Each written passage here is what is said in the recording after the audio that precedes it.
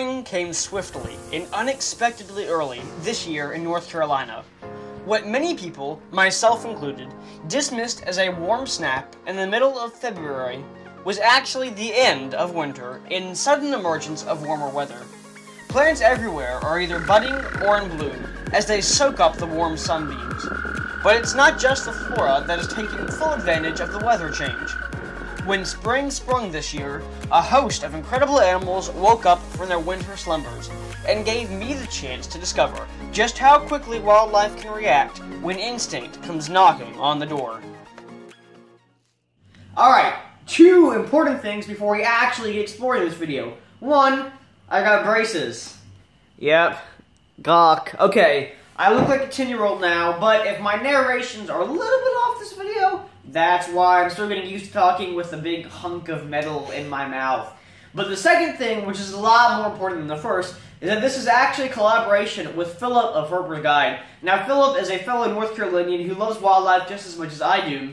We've both gone exploring during this kind of early spring heat spell that's hit North Carolina, and we found some pretty similar results. But his video will be linked in the description along with his channel, so make sure you check him out.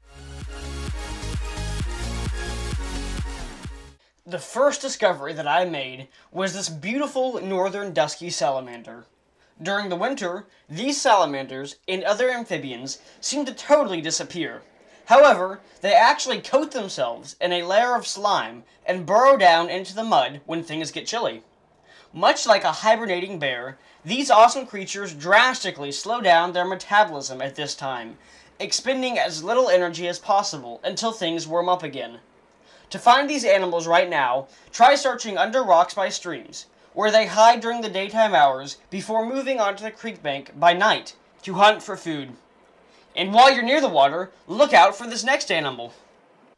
Upland chorus frogs are minuscule amphibians that are found across the southeastern United States. Often the first frogs to begin calling during the spring transition, their songs can be heard from quite a distance away. I found a plethora of these frogs in a tiny creek system that runs through a forest, where they seemed more prevalent than in deeper bodies of water. There is lots of color variation that can occur across this animal's range, and even within this one creek, I found many different patterns and colors. The easiest way to identify these frogs is by the dark, backwards facing arrow usually found around the neck area, and the dark stripe that runs across the sides of their heads.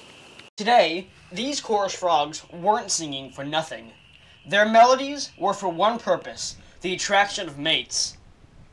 I located many pairs of mating frogs and egg clusters during my adventure, in order to produce offspring, these smaller male frogs climb onto the backs of the females and wrap their forelimbs around her midsection.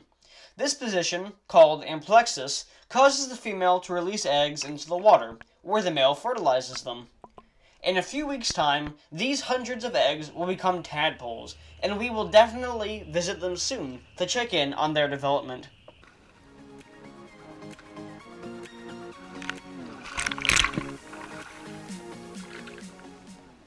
But it wasn't just frogs and salamanders that were in on the fun. After a bike ride down to the pond, I saw one of my favorite parts of the spring shift, the toad spawn.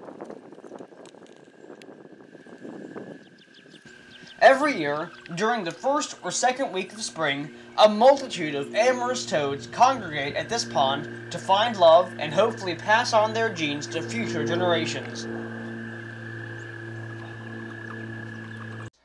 Like the frogs, these toads will sing to attract mates, and then enter amplexus to produce fertilized eggs.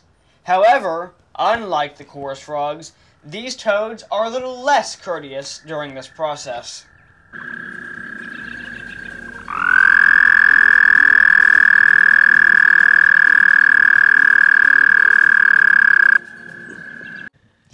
Not uncommon to see a mating pair being assaulted by other toads who want in on the action, and often this leads to kicking matches between the males.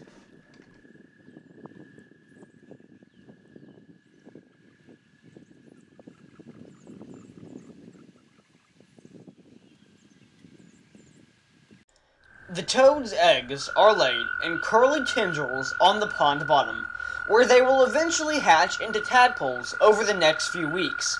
When this happens, I will make my best effort to be present, as I have never before witnessed the eggs hatching. Want to find some of these neat amphibians yourself? You don't have to go far to have an adventure of your own. Just grab your bike, or walk, to a natural water source near you. Where there is warm weather and water, there are bound to be creatures just waiting to be discovered. Comment what wildlife you find below. I'd love to hear about it. Well, that's all for today's episode. I know that I had a ton of fun, and I hope that you did too. This is just a teaser of the incredible animals that we will undoubtedly find as the weather continues to warm up, so make sure to subscribe right now so you don't miss out. If you want more content, follow the social media pages in the description for cool wildlife pictures and video clips that aren't in the weekly episodes. This is the Wild Report, signing out.